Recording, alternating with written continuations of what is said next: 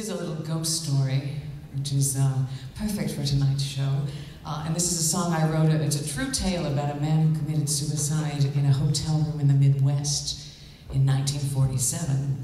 And as the story goes, the hotel renovated and remodeled through the years, but they left the little wing of room 19 unchanged, just as it was in 1947, because it was said that his spirit still lurked in the room.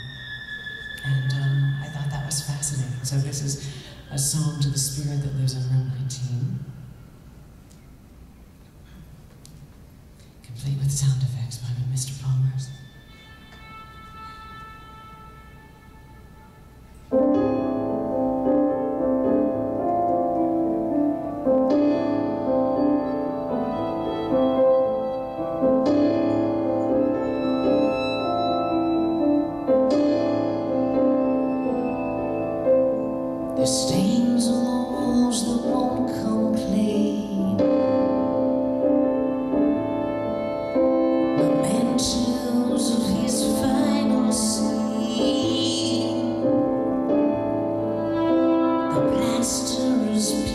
Skin that's gone gray. The door